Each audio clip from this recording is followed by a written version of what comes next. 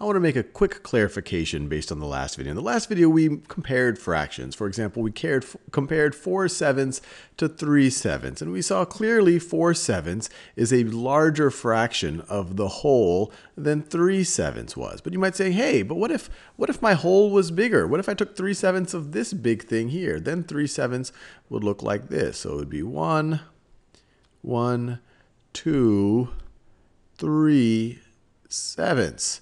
And so this 3 sevenths, this looks like I have filled in more than I would have over here for the 3 for the 4 sevenths. So doesn't it matter which whole you're taking the fraction of?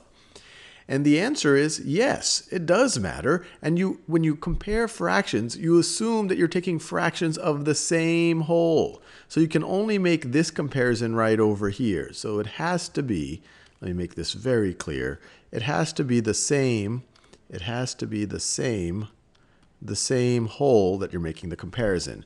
You can't compare 4 sevenths of a mouse to 3 sevenths of an elephant. Those are two different things. You cannot make that comparison. You could compare 4 sevenths of a mouse to 3 sevenths of that same mouse or a mouse the same size. Then you could make the same comparison. When we talk about fractions as just pure numbers, then we're then we automatically go to the number line. The whole that we talk about when we're on the number line is the section of our number line between 0 and 1.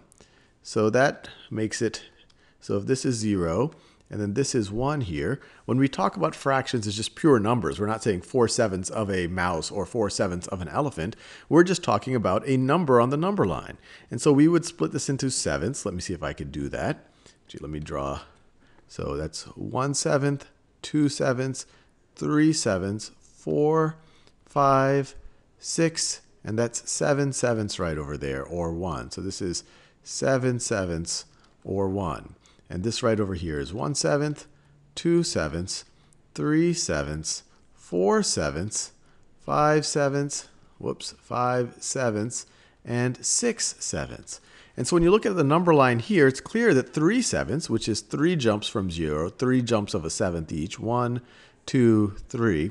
Three sevenths puts you right there, while four sevenths is a larger number. It's to the right of three sevenths. You have to make four jumps. One, two, three, four. Four jumps of a seventh to get right over there. So you can make this comparison as long as you're doing it, you're looking at the fraction of the same whole. Here, the same whole is the region of our number line between 0 and 1. In the previous video, the same whole was this yellow bar. You can't compare 4 sevenths of this yellow bar to 3 sevenths of this much larger blue bar.